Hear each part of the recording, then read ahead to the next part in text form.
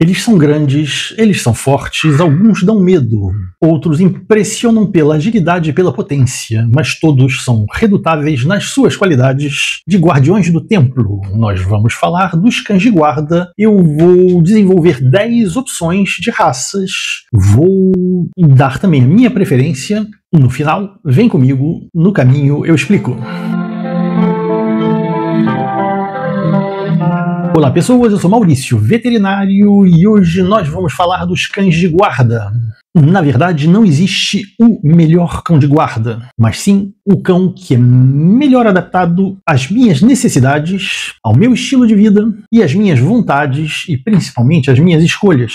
Existem cães que são mais energéticos, outros que são mais potentes, passando pelos mais dissuasivos e os mais adestráveis, mas todos eles são capazes de desempenhar o papel de fiel defensor. No final, o que importa é você, o que você deseja o que você espera do seu cachorro. Vamos lá para as opções. Primeiro, pastor alemão, uma raça que dispensa apresentações, desde o Rintintim, das nossas séries em preto e branco, dos nossos avós que viam essas séries em preto e branco. Cão de guarda por excelência, é a imagem do cão fiel, altamente adestrável, presente como cão policial. Ele ama o dono de uma forma quase excessiva, mostrando sempre uma certa carência afetiva. Mas é excelente com a família e, aliás, hoje é o meu cão de guarda aqui na minha casa. É um cão, para a média dos cães de guarda, considerado de porte médio, com 61 a 64 centímetros até a cernilha, e é um cachorro que é completamente à sua escuta. Você sente nele a vontade de agradar. E isso mesmo sem um adestramento específico. O pastor alemão, que é o famoso capa preta, também se declina nas cores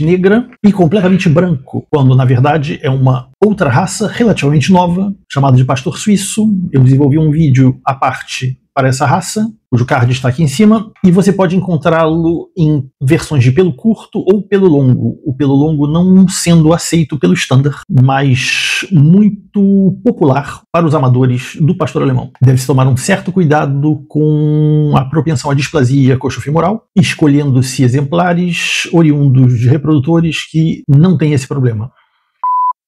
Pastor belga. O pastor belga se declina em quatro raças diferentes, essa grande família do pastor belga, que são o Malinois, versão pelo curto, o Tervuren, versão pelo longo, o Grandale, que é a versão negra do Tervuren, e o Lake Noir, que é um pouco mais raro, versão pelo de arame. Nesse vídeo explanativo estamos vendo um jovem Tervuren. É uma raça enérgica e muito maleável. E, aliás, ela é a escolha da maioria dos profissionais de adestramento, mas pede uma mão firme, porque se você não direcionar essa energia para o trabalho, isso pode vir a ser um problema, porque ele não para quieto. Eu já tive um Tervuren e a impressão que a gente tem é que ele está sempre 15 minutos atrasado em relação à vida, sempre correndo de um lado para o outro, um pouco como o coelho da, do filme Alice no País das Maravilhas, sempre atrasado em relação à vida. É um cão altamente adestrável que pede isso e um cão a se deixar em mãos adultas, que podem controlá-lo e direcioná-lo em relação a essa necessidade de trabalhar.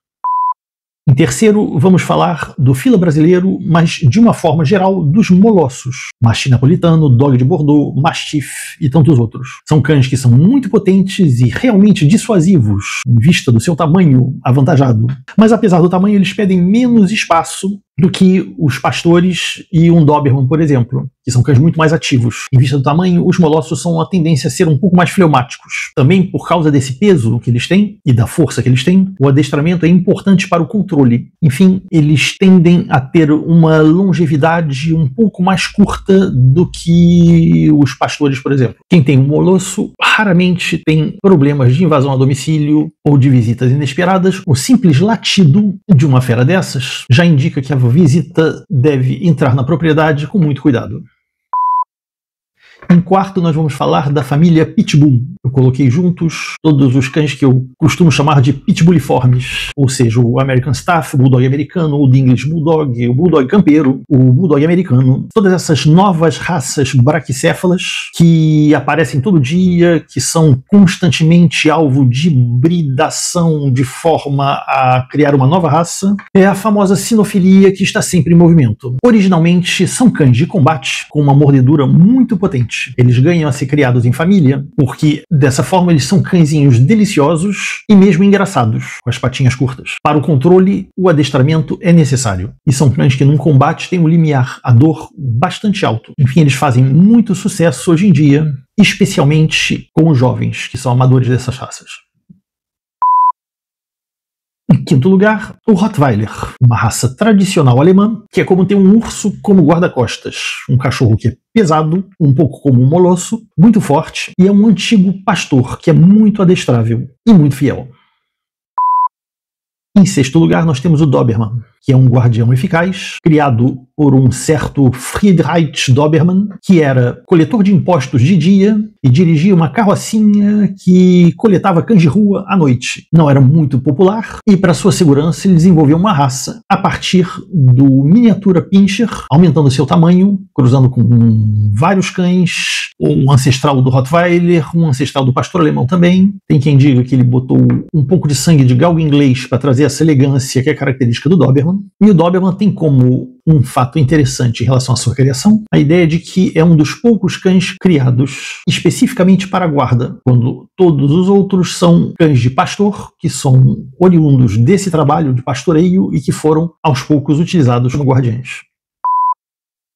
Em sétimo, nós temos o dog alemão. Nesse caso, o tamanho é documento. É o maior dos cães aqui presentes. Ele é enorme, ele é elegante, ele é dissuasivo pelo seu tamanho. É um bom cão de guarda. Se declina nas cores negro, azul, bege, tigrado e arlequim. E é o campeão da longevidade curta. Um dog alemão de 6 a 8 anos já é considerado um cachorro velho.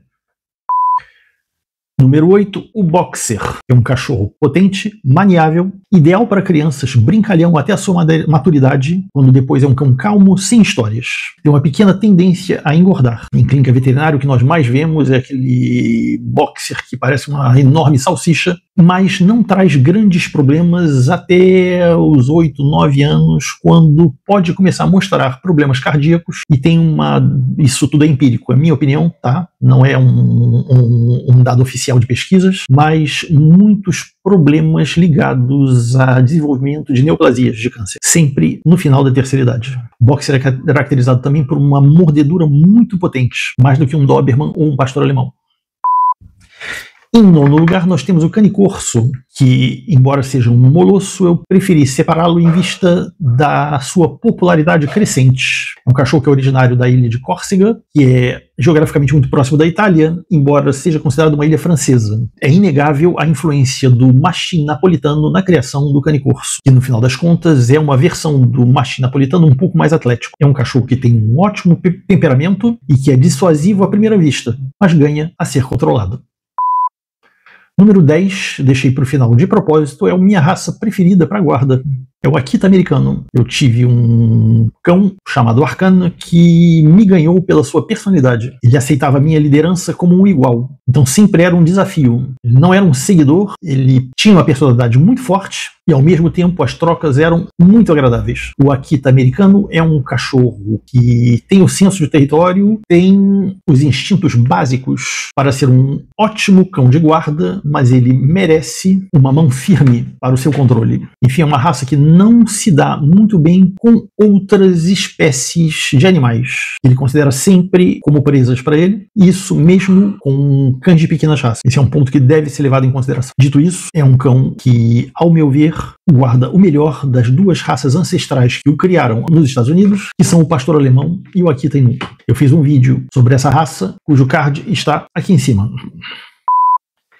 Em conclusão, todas essas raças e ainda outras que eu não citei são guardiões eficazes. O que conta mesmo é o seu gosto pessoal, a sua forma de educá-los e principalmente o adestramento para que eles possam ser controlados, não somente para atacar, mas principalmente para obedecer. Mais importante do que fazer um cão de guarda atacar é fazer o cão de guarda estar atento às suas ordens para que ele pare de atacar. Eu deixo aqui uma playlist com outros vídeos onde eu desenvolvo temas sobre raças de cães e aqui o botão para que vocês me sigam. E até breve, a um próximo vídeo.